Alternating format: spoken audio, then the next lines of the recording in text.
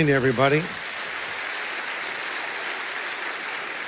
You know, that video that we produced uh, for this little series and a series that we're doing was posted on Facebook uh, last week, and it's been viewed over a million times and it's been sent out to four million other people. So it's really, um, it's as they say, gone viral, right? So uh, if you are on Facebook or Twitter, uh, you might want to get the word out. You can just get the link to our website or go over to my Facebook page or my Twitter page, and I will give you that link and you can share it with others. But it's really just a scripture uh, with some music and some video. But I think the thing that it touches on is people know something's going on in this crazy world right now.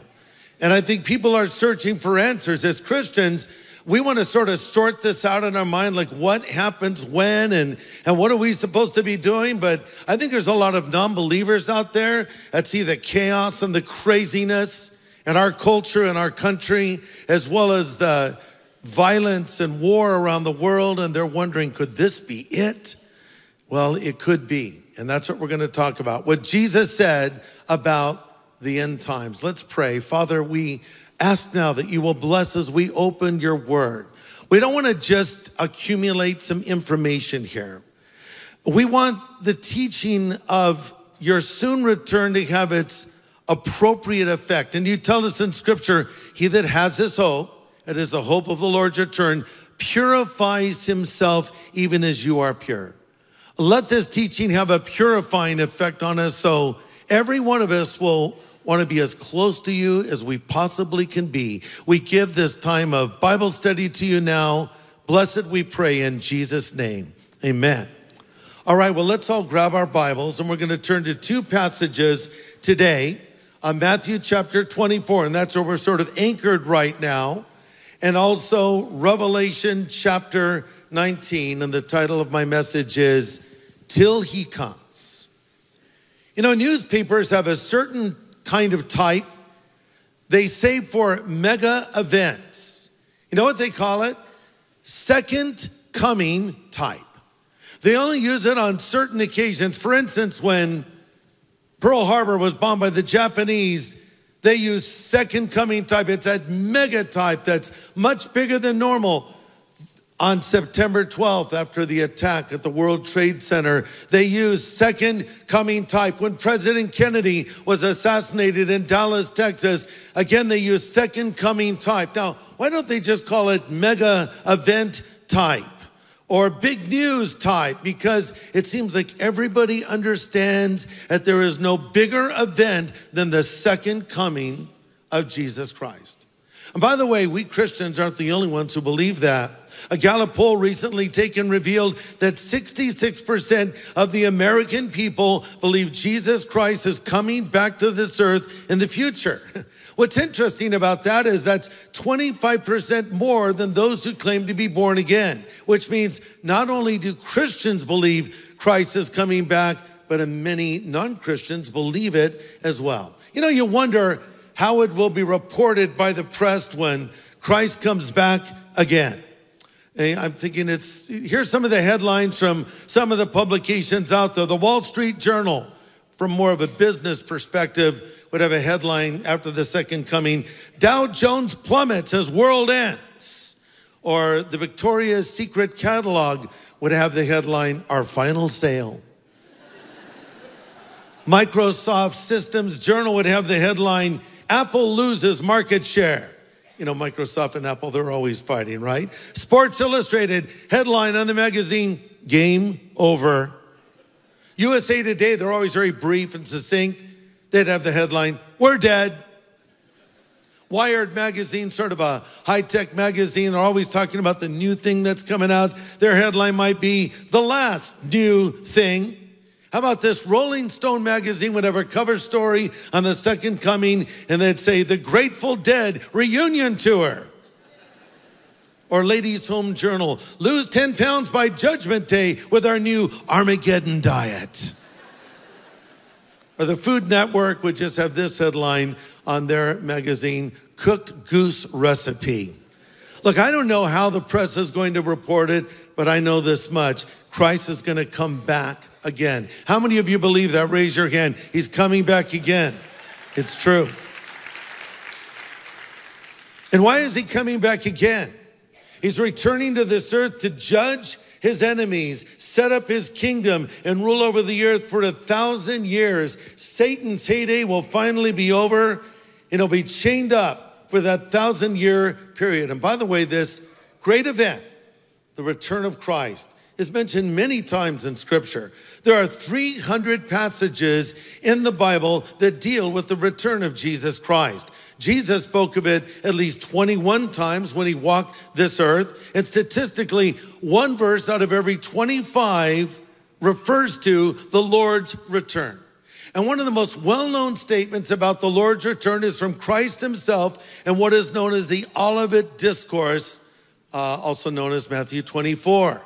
This is in response to the question of his disciples what shall be the sign of your coming and of the end of the world? And Jesus says in Matthew 24, verse 29, immediately after the tribulation of those days shall the sun be darkened, and the moon shall not give her light, and the stars will fall from heaven, and the powers of the heavens will be shaken. And then shall appear the sign of the Son of Man in heaven. And then all the tribes of the earth will mourn, and they will see the Son of Man coming in the clouds of heaven with power and great glory.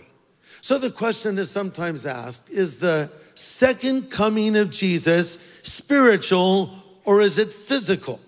Well, the answer is this is the physical return of Christ to the earth. His first coming was physical, and his second coming will be physical as well. Now, though it is true that Jesus indwells every believer, when you put your faith in Christ, he does come to take residence in your heart. It is also true that he is bodily in heaven right now. Remember when Stephen was martyred he had a vision of glory and he said, Look, I see Jesus standing at the right hand of God. So he saw Christ in heaven, but Jesus will come back bodily to earth. After his ascension into heaven in Acts 1:11, the angel said to the apostles, "This same Jesus who was taken away from you into heaven will come back in the same way you have seen him going into heaven." So why is Jesus returning to the earth? Again, to judge the world in righteousness. And there are so many injustices in this world, aren't there? Criminals that seemingly get away with their crime, terrorists that commit horrific acts. And we wonder, when are these wrongs going to be righted? Well, when Christ comes back, he will right the wrongs and bring justice to a world of injustice. But before the second coming, there is going to be an event that must transpire. We know it is Armageddon. It's the final battles of mankind. Now, that word sounds so ominous and threatening and final, and indeed it is, for Armageddon is the name of where the final conflict will happen. Usually, when the word Armageddon is invoked, it's talking about something ominous. For instance, when General Douglas MacArthur stood on the deck of the USS Missouri in Tokyo Harbor, signing a peace agreement with Japan and effectively bringing World War II to an end, he made this statement, quote, we have had our last chance. If we do not now devise some great and more equitable system, Armageddon will be at the door, end quote. Soon after he was inaugurated as the 40th president of the United States, President Ronald Reagan was overwhelmed by the complexities of the Middle East. And on Friday, May 15, 1981, he scribbled in his diary, Sometimes I wonder if we're going to witness Armageddon. Or maybe he said it to someone. Well, sometimes I wonder if we're going to witness Armageddon. Bill Clinton was there and he said, I feel your pain. Those are my presidential imitations. A few weeks later, one Sunday on June 7th, President Reagan heard that Israel had bombed the Iraqi nuclear reactor. And he wrote in his diary these words God, word of Israel bombing the Iraqi nuclear reactor. I swear, writes the president, I believe Armageddon is near, end quote. I wonder what the president will say when Israel bombs the Iranian nuclear reactor, which may happen, we don't know. But here's something that we need to understand Armageddon is actually the name of a place, it's the valley of Megiddo. That's over in Israel. Many battles have been fought in that battle, I mean, in that field already. Uh, Gideon defeated the Midianites in the valley of Megiddo. Deborah and Barak defeated the Canaanites there. King Saul was killed in the valley of Megiddo. But why is the valley of Megiddo the location of the final conflict? Well, no less an expert than the military leader Napoleon stood there in 1799 and made this statement, and I quote, all the armies of the world can maneuver their forces on this vast plain. There is no place in the world more suited for war than this. It's the most natural battleground on the whole earth, end quote. So in our last message, we talked a little bit about the Battle of Armageddon raging on, and that was symbolized by the four horsemen of the apocalypse, remember? In Revelation 6. First, we had Antichrist emerging on the scene initially as a man of peace, but eventually showing his true colors. After he's helped the Jews rebuild their temple, he uh, commits the abomination of desolation, that is the desecration of the temple. And people realize that this man is evil incarnate. If Satan never had a son, this is him, the Antichrist. And this white horse of peace is followed by the red horse of war. Remember, I pointed out in Revelation 6, first Antichrist comes off like a good guy, then he shows himself for what he is, the worst guy ever. So, in the immediate heels of the white horse of so called peace comes war. Revelation 6 4, another horse, fiery red, went out. It was granted to the one who sat on it to take peace from the earth, and that people should kill one another. And there was given to him a great sword. Note that it says his horse is fiery red. That reminds us of another description of Satan in the book of Revelation, where he is called the great fiery red dragon. Here's what we need to know Satan is behind the wars and struggles on this planet. When Christ was born as a baby in Bethlehem, there in the manger, the angel said, Peace on earth among men with whom God is well pleased. Jesus came to bring peace on earth. Antichrist to take, Antichrist comes to take peace from the earth. Sometimes people are perplexed when they see another barbaric act of terrorism from a group like ISIS or Boko Haram or someone else, uh, a, an innocent child killed, a person beheaded, someone crucified, a individual put in a cage and set on fire and, and the pundits sit around and try to explain it. We don't know why people do these horrible things. I'll tell you why. Because there's a devil and the devil loves carnage and the devil loves violence and the devil loves war and he is the one that's whipping all of this up. Satan loves death and Satan loves war. We've had some massive wars in our world's history. Of course, there was World War One, and that was called the War to End All Wars. And it was said that there would never be another world war because 10 million people lost their lives in World War I. But it took only 20 years for another conflict to develop, and World War II was far worse with 50 million people dying in it.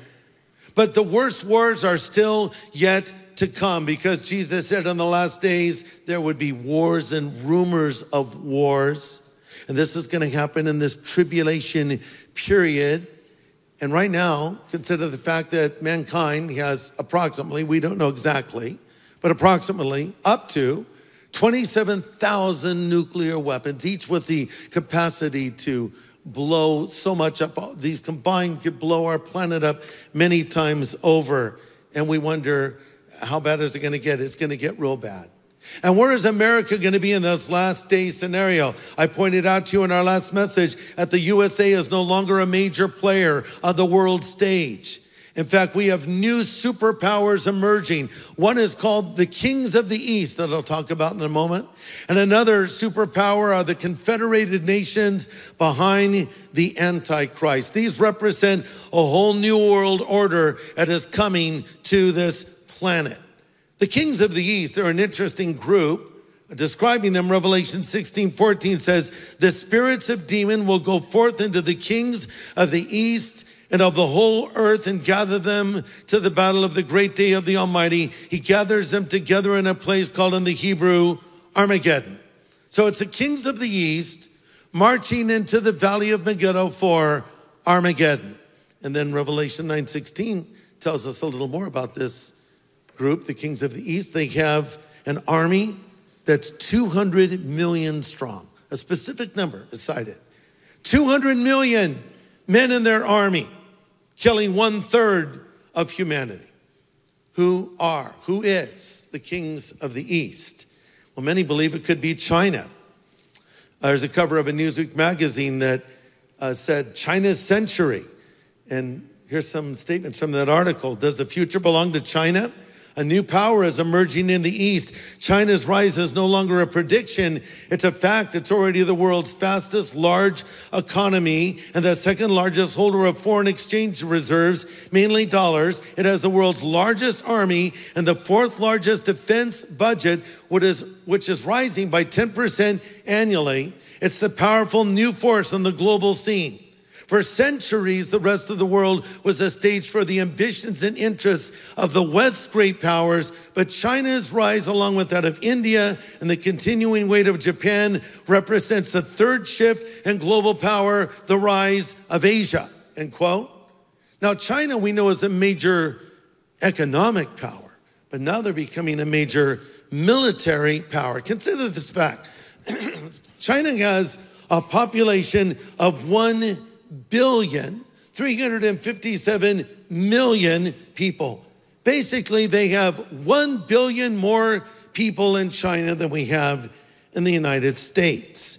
And they've been escalating their military machine, much to the alarm of our military experts. Uh, it was described as unprecedented and unexpected military expansion. And China announced in 1997 they could raise an army of 352 million soldiers.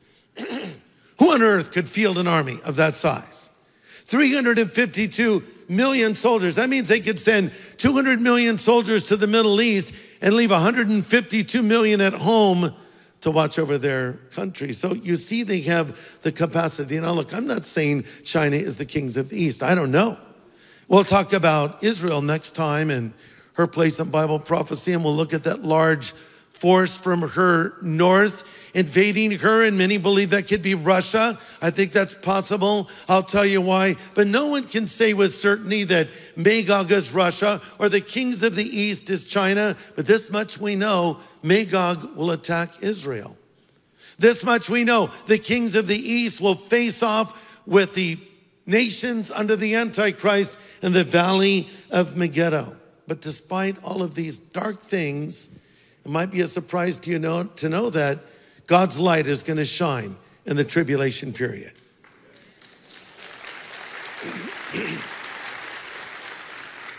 As I've said before, I believe the next event on the prophetic calendar is the rapture of the church, where we're caught up to meet the Lord in the air. Then Antichrist emerges. Then the tribulation period begins. At first it's peaceful, then Antichrist, then Antichrist shows his true colors. But yet, despite the fact that he is persecuting Christians and Jews, we see great revivals breaking out and we see the gospel going forth. In fact, we read about sort of an angelic mop up operation because in Revelation 14 6, we read of an angel flying in the midst of the heaven during the tribulation period, proclaiming the everlasting gospel to every nation and language. And by the way, that fulfills what Jesus says here in Matthew 24 14. The gospel of the kingdom will be preached in all the world for a witness unto all the nations, then shall the end come. And this answers that often asked question what about the person who has never heard the gospel? How could a God of love send them to hell? For some reason, they're always in Africa too. What about the person living in the middle of the jungles of Africa? Guess what? God's gonna reach them. Because when we get to heaven one day, the Bible tells us there will be people from every race, every culture, every language, every nation bringing praise to God. Ultimately, everyone is going to be reached because Revelation 7 9 says, I saw a vast crowd too great to count from every nation, every tribe, every people, every language standing in front of the throne and before the Lamb. Now, that does not excuse us from our responsibility to get the gospel out. That is just saying that God's going to finish up uh, what we started, as I described it earlier, an angelic mop up operation. In addition to this, the Lord is going to raise up 144,000 Messianic Jews to travel around the world sharing their faith. 144,000 Marty Goetzes released. They'll all have like Marty Goetz hair, little pianos. No, they won't. But but Jews who have found Jesus as Messiah, traveling around proclaiming the gospel. And then, this is really interesting, Lord's gonna raise up two prophets, two witnesses in the end times, and they're gonna have a miracle ministry. The Bible tells us they'll have the ability to call fire down from heaven. When those people are attempting to hurt them, they can also stop the rain and turn the waters to blood. So, who are the two witnesses? Well, some think it may be Moses and Elijah. I happen to agree with that. And one of the reasons is remember, Moses was the one who turned the Nile River to blood, or God did it through him, I should say. And Elijah was the one who could stop the rain and call fire down from heaven. And also, don't forget when Christ was transfigured, who appeared with him, but Moses and Elijah. Well, regardless of if Moses and Elijah are the witnesses, they're going to have a powerful ministry and reach many people. And then suddenly, Antichrist kills them and they're lying dead in the streets of Jerusalem. The Bible tells us as these two prophets are lying dead in the street, all the world is watching. Now, that's an interesting statement for someone to make on an island called Patmos 2,000 years ago. All the world will see them. Is that possible today for everyone to see something at the same time? Well, of course it is. Not just because of satellite technology, it's been around for a long time, but now with the internet and access that we all have through our devices, ranging from laptops to tablets to smartphones to even watches now. And who knows what the technology will be at this point, but everyone can watch it. So the whole world is watching. And by the way, Everyone's having a big celebration. They're so happy these pesky prophets are finally dead, and people are giving gifts out one to another. I find that fascinating. It's like a big holiday. Happy Dead Prophets Day. Aren't you glad they shut up finally? Everyone's watching them. the Bible says this, Revelation 11 1. After three and a half days, the spirit of life from God enters them, and they stood up and terror struck all who were staring at them, and a loud voice shouted from heaven, Come up here. And they rose up into heaven in a cloud as their enemies watched. Here's the bottom line God always has the last word. Remember that. Because sometimes things look bleak. We have setback after setback. And we say, wait, wait, wait. I thought that God was God's word would prevail. Well, it will in time. But sometimes there's going to be some darkness before that, but God will have the last word. Well, now this this party's over. It's time to pull out the second coming type. Christ is ready to return. Let's go now to Revelation 19 and read about the second coming of Jesus. I'll read verses 11 to 14.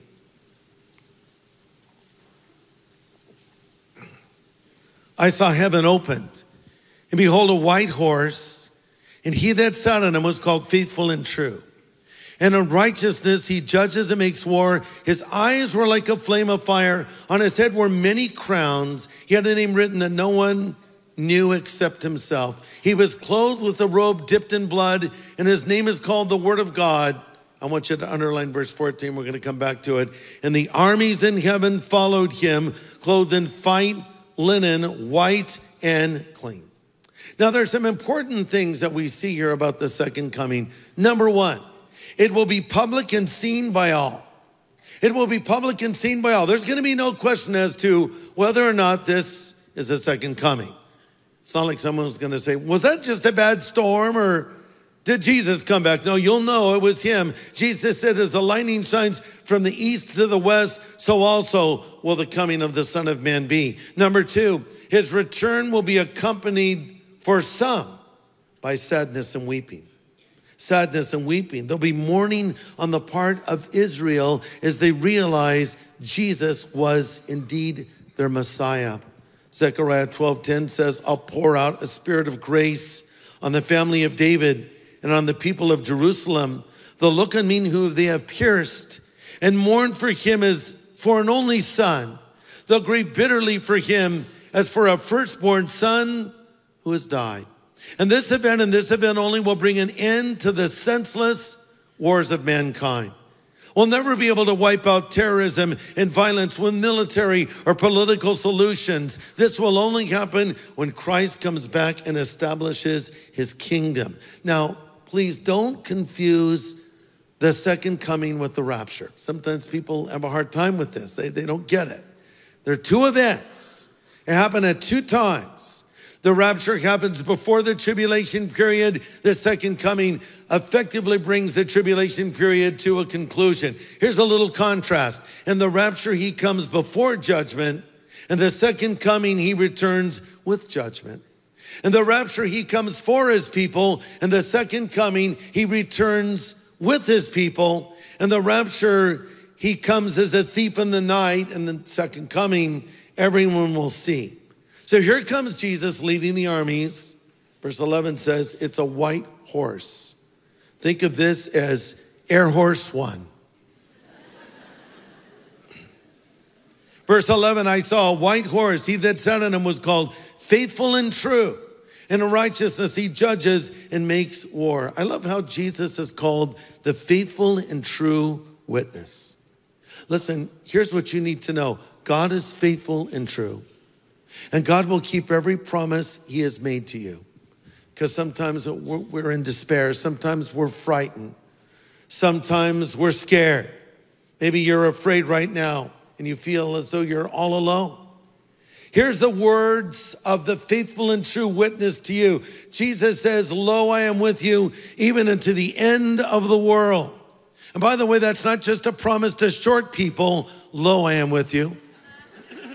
It's a promise to all people. Jesus also said in Hebrews 13, 5, I will never, never leave you or forsake you.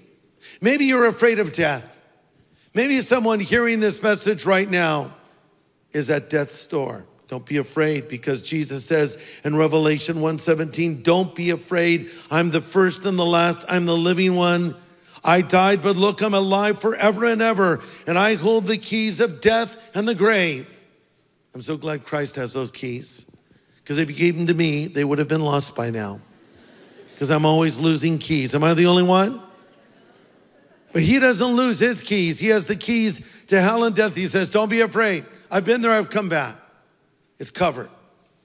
Of course, in John 14, Jesus said, Let not your heart be troubled, neither let it be afraid.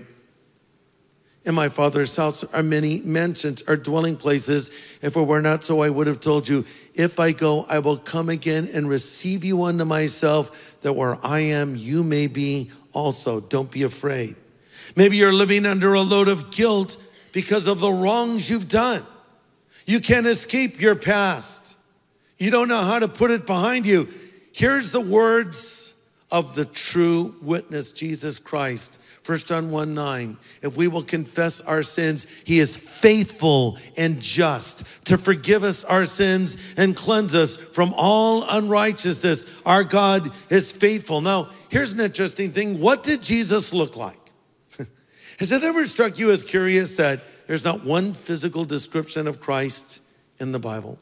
Could not one of these guys have just taken like four minutes? And just written down a few details. He was tall, he was medium height, he was shorter, his hair was blonde, his hair was dark. Eh, something, tell us anything. Not one physical description of Christ in all of the Bible. But actually, we do have a description of him here, but it's more of a spiritual description. Revelation 19, verse 11, he sees a white horse. He that sat on him is faithful and true. His eyes were like a flame of fire. On his head were many crowns. He had a name written that no one knew except himself. And he was clothed with a robe dipped in blood. And his name is called the Word of God. So we have three things that stand out the eyes, the head, the robe. First are the eyes, verse 12. His eyes are like a flame of fire. You know, when you meet someone, you shake their hand for the first time, you usually look them in the eyes. They say the eyes are the window to the soul. If a person doesn't make eye contact, that's not a good sign. Look away. But then there are some people that, you know, they make eye contact and they just sort of stare at you. It's like, could you look away for a second? You're making me uncomfortable. Or even worse, they stand too close, really close. I call these people space invaders. Look, you see this? This is my space. Stay out of it. Don't stand here and talk to me like this. It's just weird. But you know, you look into a person's eyes. Imagine looking into the eyes of Christ. He walked this earth, he looked at people. The Bible tells us he saw Matthew sitting at his tax table, and we read, Jesus looked at him and said, Follow me. Just looked at him, and that could better be translated. He looked right through him. Have you ever had anyone look right through you? Let me restate the question Do you have a mother? Remember when you were a kid, you were out a little late? Your mother says, Where have you been? Look at me. You started confessing things you didn't even do. she looks right through you.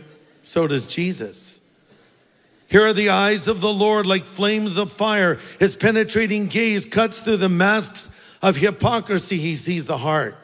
Hebrews 4:13 says, "There is no creature hidden from his sight." All things are naked and open to the eyes of him to whom we must give an account. and then number two, there's the head.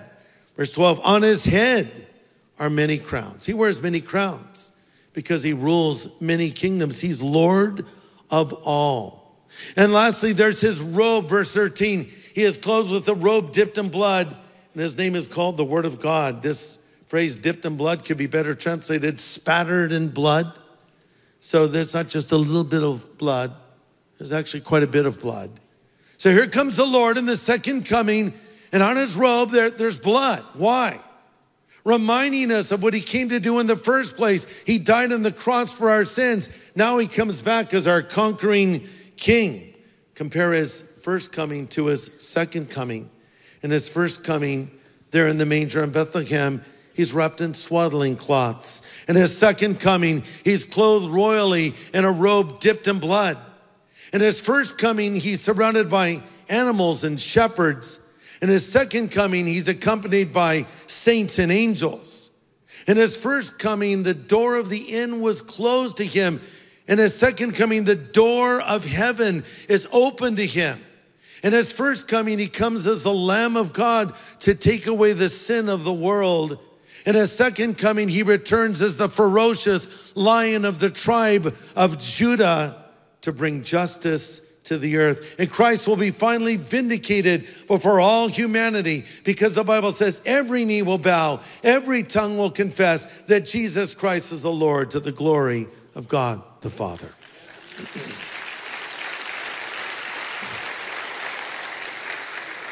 Now, this is kind of cool. Look at verse 14.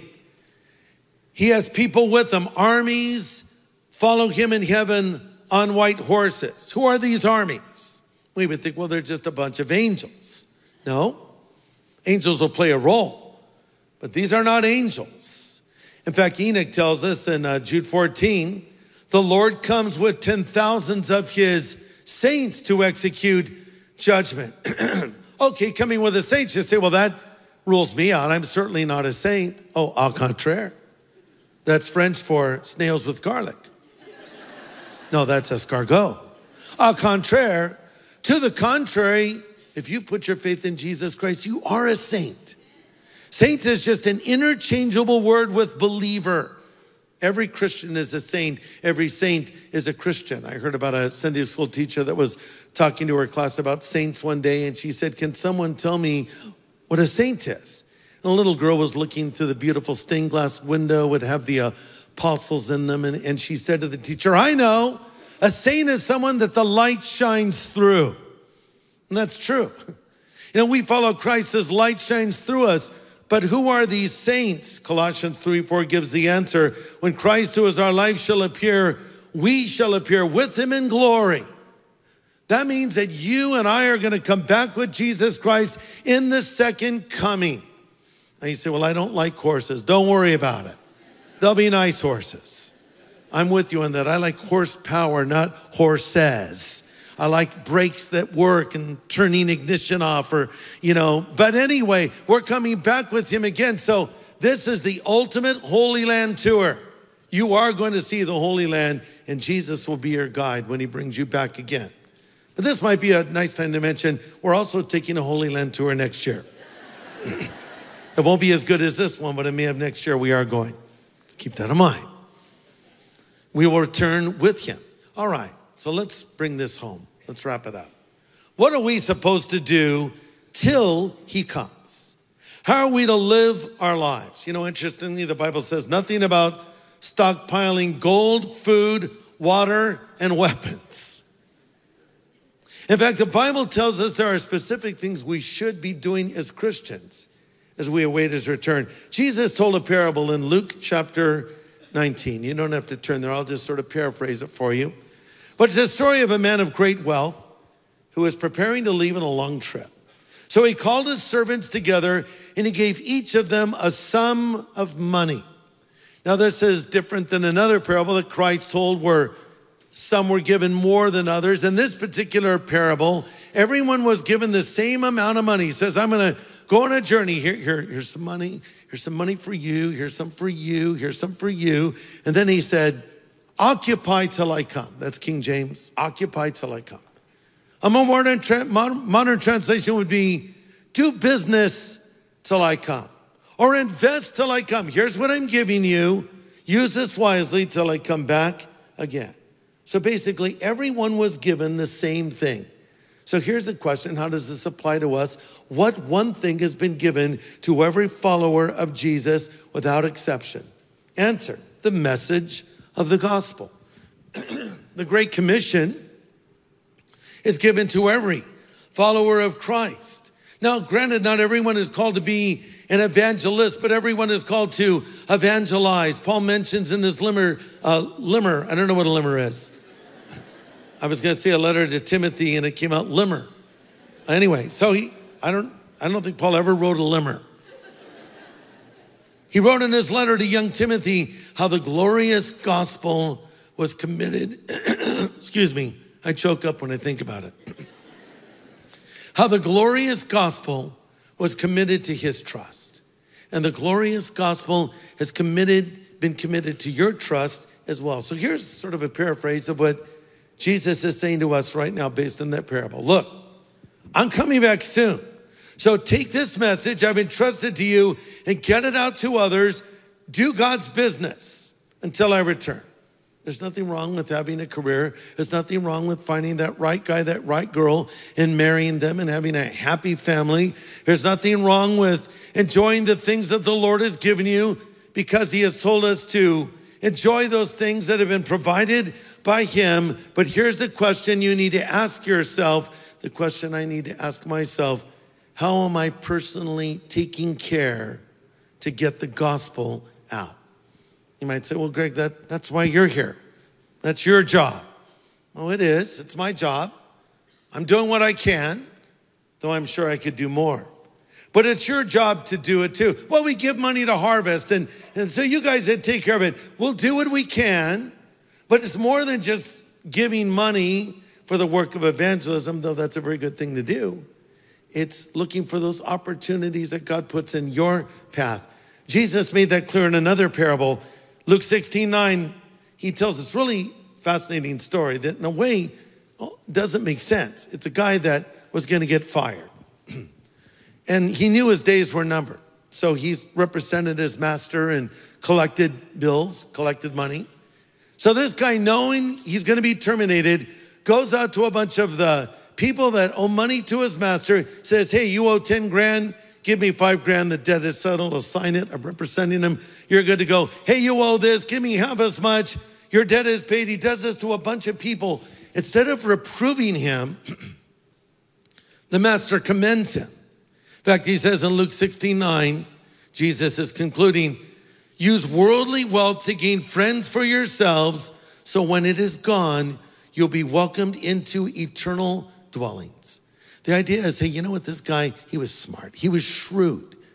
And in the same way, we need to take our money, our resources, and use them to gain friends. You say, what are you talking about? Bribing people to become Christians? No, no.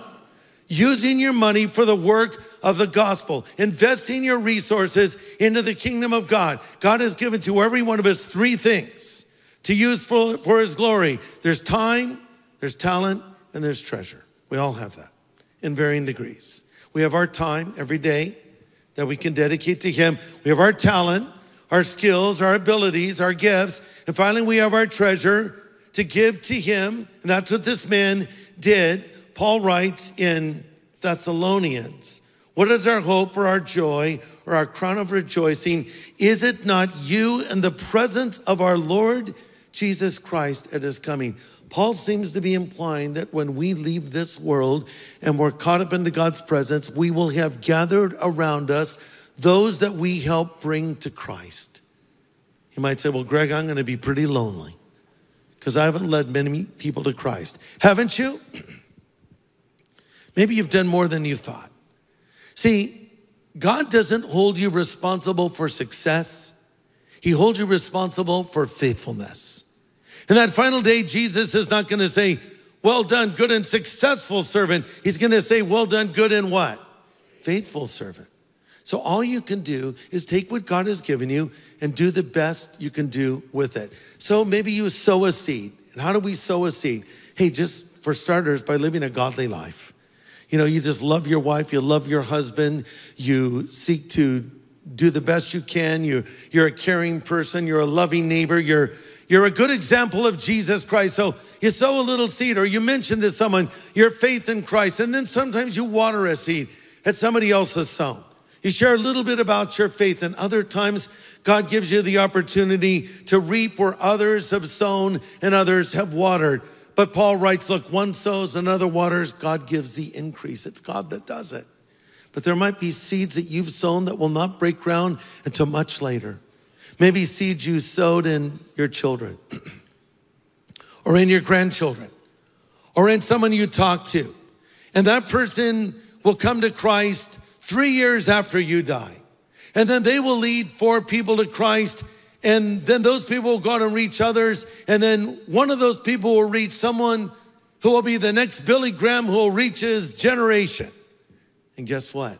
All that is fruit to your account. It all comes back to you because you did your part. See, we're all interconnected. So here's the bottom line just do what you can. Just don't beat yourself up. I'm such a failure. Hey, do what you can. Do what you can for God's glory. Sow those seeds, water those seeds, reap when the Lord opens the door.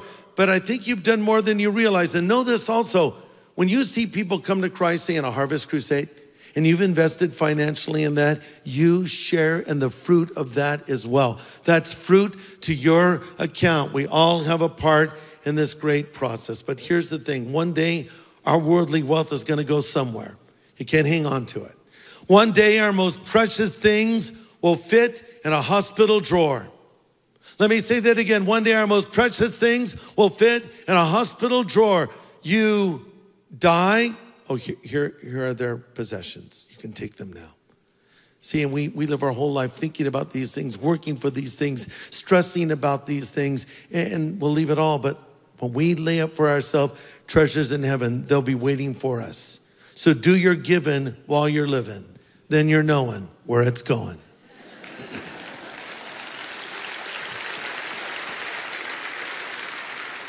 But the most important thing, and I close with this, is I want you to personally be ready for the return of Christ. Now, today I've talked about the second coming of Jesus Christ. But guess what? The rapture of the church, where he comes for us, is, well, seven years before it, to be exact. Which means if the second coming of Christ is close, then certainly the rapture of the church is even closer. That means Christ could come back at any moment. And then again, life could just end. We just don't know when that's going to happen. So we need to be ready. Are you ready right now? If you were to die today, would you go to heaven? If Christ were to come back tonight, would you be one of the ones who would be caught up to meet him in the air?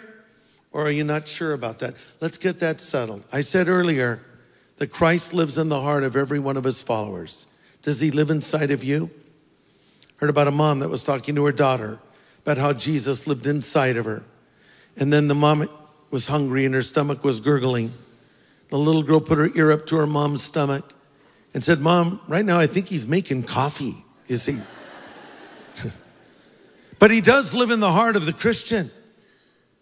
Does he live in your heart? Well, I, I, think so. You know, I think you will know if the creator of the universe has taken residence in your heart. And if you don't know, that would be a good indication he doesn't live there. I know he lives in my heart. And you can know that he lives in yours. And if you haven't asked him in, you can do it right now. The same Jesus who died on the cross and rose from the dead and will come back again stands at the door of your life and he knocks and says, If you hear his voice and open the door, he will come in. He wants to come into your life right now. And if you've never asked him in, do it right now. Let's all bow our heads for a word of prayer. Father, thank you for your word to us. Thank you for sending Jesus to die for us.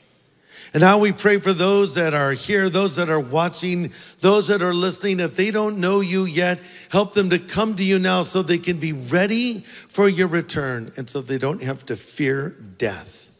Speak to them now, we would ask in Jesus' name. While our heads are bowed and while our eyes are closed and we're praying, how many of you would say today, Greg, I'm not sure if Christ lives inside of me? I can't say with confidence, I know that I'm a Christian. I don't know for sure that I will go to heaven when I die. And I do not think I'm ready for his return, but I want to be. I want Jesus to come into my life. I want him to forgive me of my sin. Would you pray for me? If that's your desire, if you want Christ to come into your life, if you want him to forgive you of your sin, if you want to be ready for his return, would you lift your hand up wherever you're sitting? And I'll pray for you. Lift up your hand. Let me pray for you. God bless you. Wherever you are, lift your hand up saying, I want Christ in my life today. I want my sin forgiven. I want to be ready for his return. Lift your hand up. I'll pray for you. God bless you. Anybody else? Raise your hand up high where I can see it. Anybody else? God bless you. God bless you. Some of you are watching a video screen. I can't see you right now. That really doesn't matter. Would you lift your hand as well? The Lord sees you. Anybody else? You want Christ to come into your life? Raise your hand up. Let me pray for you. God bless you. Now, I'm going to ask every one of you that raised your hand, I want you to pray this prayer right where you sit. Just pray this prayer after me. And this is a prayer of asking Jesus Christ to come into your life. Again, as I pray, pray this out loud after me. Just pray this Lord Jesus, I know that I am a sinner. And I also know that you are a Savior who died on that cross for my sin and rose again from the dead. Now I turn from that sin and I choose to follow you from this moment forward. Thank you for calling me and accepting me and forgiving me. In Jesus' name I pray. Amen. God bless you.